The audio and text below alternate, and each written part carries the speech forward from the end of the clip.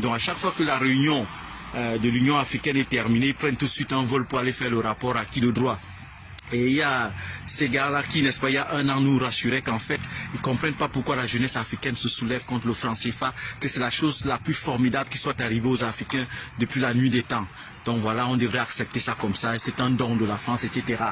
Et une fois de retour en Afrique de l'Ouest, ils ont tout fait, n'est-ce pas, de déclarer qu'ils voulaient, n'est-ce pas, une nouvelle monnaie qu'ils vont appeler l'écho.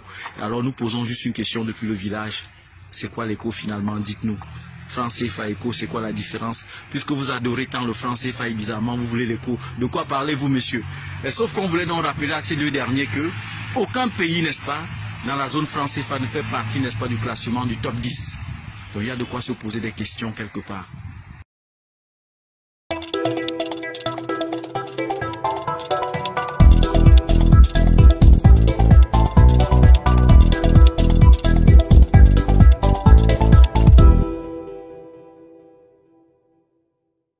Ces questions sont les suivantes. Comment est-ce qu'un pays comme le Ghana, qui a moins de 30 millions d'habitants, peut se permettre de damer le pion à 15 pays ayant plus de 150 millions d'habitants dans la zone franc Il y a de quoi avoir honte. Et suivant ce terme, parce que ça ne va pas. Donc, une fois qu'on a dit ça, l'argument principal est que très souvent, les non-africains très souvent qui sont experts sur les questions monétaires de l'Afrique, ces mêmes non-africains qui sont souvent experts même sur les religions africaines, experts sur nos traditions, experts sur nos langues, et qui formeraient même les docteurs en langue africaine. D'accord? Alors qu'eux-mêmes, ils ne maîtrisent même pas cinq langues africaines sur les 4000. Donc nous avons donc ces formes de paradoxes en Afrique. Ces experts seraient en train de dire qu'en fait, nos économies sont si faibles parce qu'en fait, nous avons une mauvaise démographie qui croît beaucoup trop vite en réalité.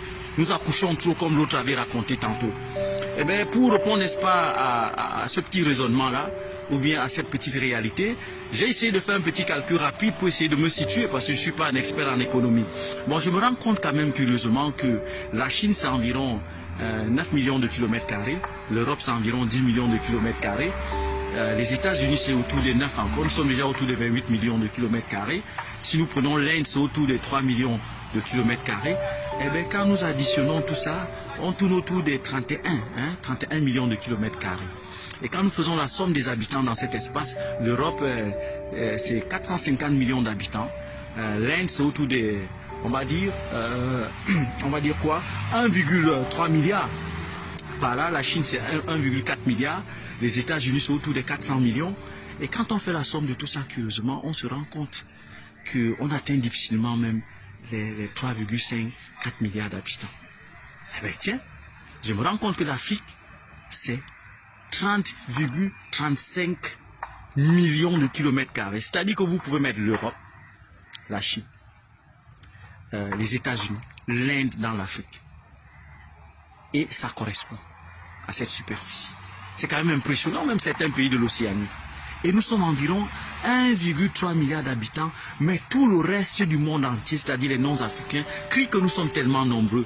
Et il y a des nègres de service, n'est-ce pas, qui s'associent, n'est-ce pas, à cette campagne, n'est-ce pas, d'injures à l'endroit de l'Africain, qui a perdu près de 800 millions de ses frères durant, n'est-ce pas, la fameuse traite négrière, n'est-ce pas, de celui-là, qui d'après Malik El Shaba, j'ai cité mal comme X nous disait, qu'en fait, on a des soucis avec nos cheveux, on a des soucis avec nos narines, on a des soucis avec nos lèvres. Alors que nos cheveux ont cette structure spirale juste, n'est-ce pas, pour contenir l'énergie solaire et l'UV et nous protéger, protéger le cuir chevelu. Nos narines sont si épais à cause de la dilatation du, n'est-ce pas, l'énergie cosmique autour de nous.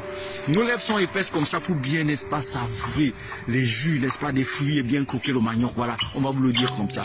Et notre peau est sombre parce que ça nous permet de résister, n'est-ce pas, aux radiations cosmiques. Voilà, donc tout est parfait sur l'homme noir. Il n'y a pas de débat là-dessus. Donc ces gens-là qui ont tenu ce de campagne viennent nous dire aujourd'hui que nos belles femmes africaines accouchent trop. C'est parce que l'Europe a cette arrogance de croire qu'elle a toujours été la référence depuis 1454 avec le pape Tommaso Perentuccelli qui avait comme ça volontairement décidé un matin qu'en réalité l'Europe devait venir nous enseigner qui est Dieu. C'est-à-dire, nous les Africains qui vivons sur Terre depuis la nuit des temps, nous sommes à l'origine de tout. Bizarrement, voilà des gens qui sont nés récemment qui viennent nous enseigner qui est Dieu. Et voilà, nous les suivons aujourd'hui nous sommes dans la perdition. Donc, à partir de ce moment, ce que nous disons, c'est que, en fait, l'Afrique fait peur parce qu'en fait, elle est encore vide.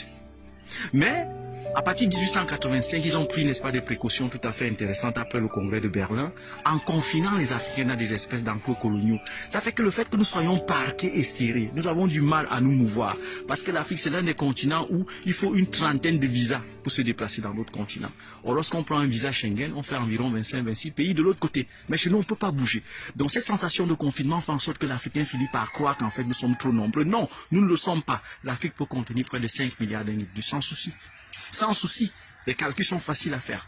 Et donc, vous avez donc des individus comme Bill Gates et Soros qui vont venir s'asseoir à la télé, ils deviennent des experts en démographie, ils sont maintenant experts aussi en vaccins, experts en tout, pour expliquer qu'en fait, les Africains accouchent trop, il faudrait limiter les naissances. Non, la peur est de leur côté, en fait. C'est vous qui ne faites pas des enfants, et bizarrement, vous trouvez que ceux qui en font, n'est-ce pas, font mal.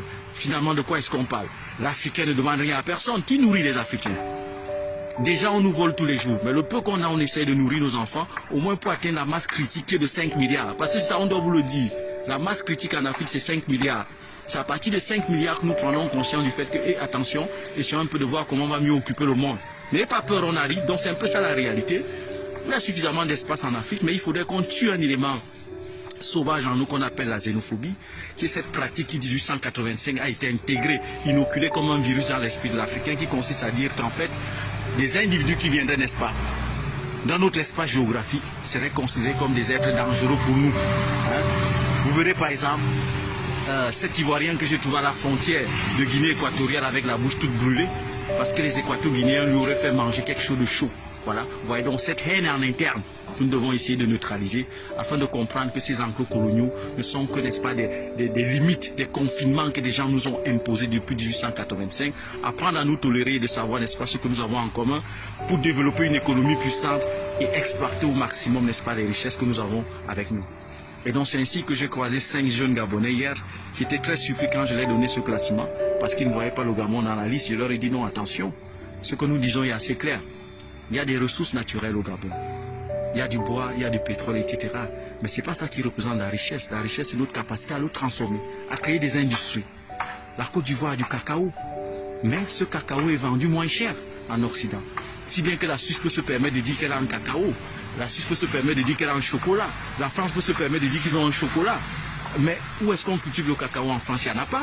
Le cacao pousse dans la zone équatoriale. Donc, tant que nous n'intégrons pas notre capacité à transformer et à créer des plus-values, afin que, n'est-ce pas, le pays de la ménagère, le tissu économique soit assez efficace, alors il n'y a pas de richesse. Donc c'est un peu comme ça qu'il faut expliquer ces choses aux gamins, bien des choses à vous, et continuons d'accoucher les gars, il y a de l'espace.